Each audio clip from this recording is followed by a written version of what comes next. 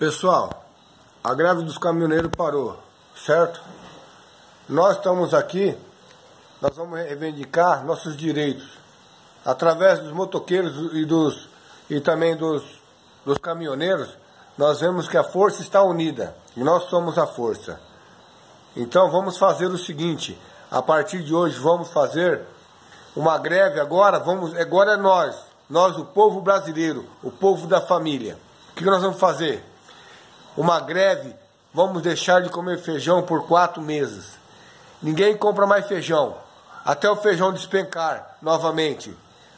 E depois nós vamos passar para a carne, até a carne despencar. Vai chegar um dia que ninguém vai comprar e pagar mais nada, vai ser moeda de troca. Você trabalha para mim e eu te dou um quilo de feijão.